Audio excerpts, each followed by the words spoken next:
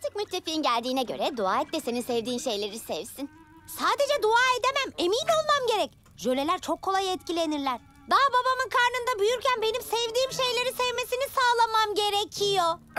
Affedersin Wendy. Babanın bir bebek sahibi olacağını mı anladım ben acaba? Doğru.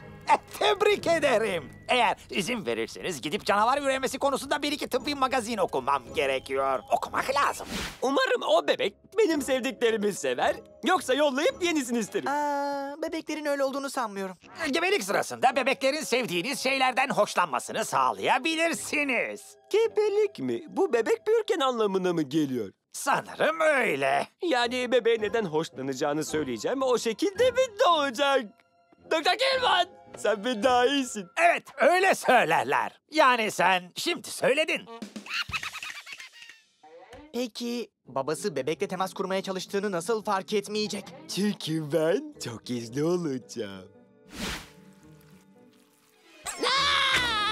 Kaç!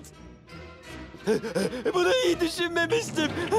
Kaykayımı nasıl geri alacağım ben? İçin çok mu geç?